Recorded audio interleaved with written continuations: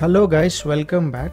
In this video we will try to explore a generator called light and uh, here what you're seeing is a example file from substance painter jade toad.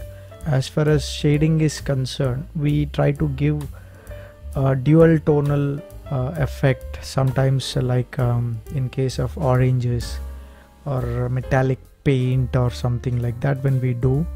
We want that um, dual tone effect. So even in toon animation we expect a dual tone effect. So if you could able to see here I've got some yellows on uh, the top side.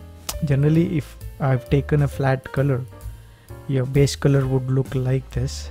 And uh, I have added a color which is sort of lemon yellow and gradually turning it to green which gives that unique uh, shading. I would like to show you what exactly uh, this light generator will do.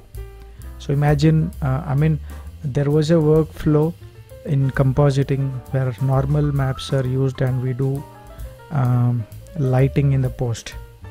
Though they don't generate shadows but to create certain brightness we we used to rely on normal maps in compositing. So that same logic is applied here. The generator is going to use a normal map and then gives us this nice uh, shading. So let's get started. So I would like to take a new layer and then give it a color. So I'm going to take a dark maroon color okay? And uh, let's delete the layers which are below it. So let's delete them so for sake of uh, understanding I just make it rough so that we could able to see the difference also. So I've got this maroon color. And now I'm going to take another layer which is going to sit on the top. And this will be uh, sort of nice pink color and more vibrant okay?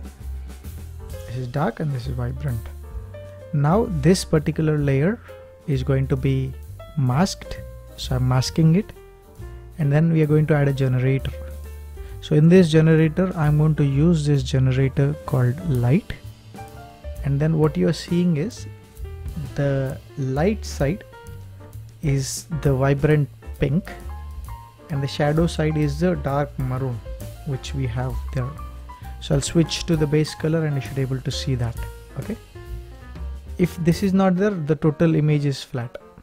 Now select that light and you have uh, inverse of it where uh, you're doing the lighting from the low angle sort of thing. Okay?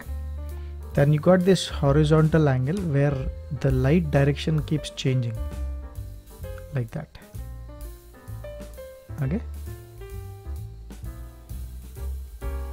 And then we got vertical angle the light direction changes in the vertical side. So you can use this slightly facing towards the camera. And then you got the glossiness where you can control it like that. And highlight level which makes the it's it look more sharp. Should able to see that uh, toon rendering effect here right and um, especially when you're uh, doing texturing for the 2d styles i think this should work magic for you okay? So keep exploring the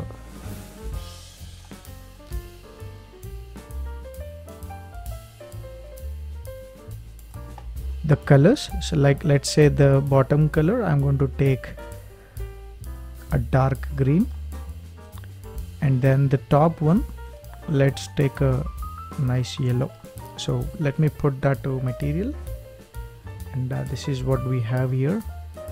So we can increase the scattering of that layers also so that it looks quite. So uh, this light generator uh, I have to control them.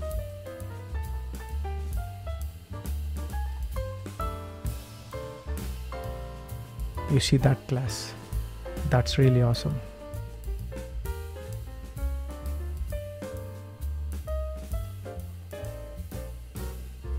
Even I'm getting that nice rim light effect here.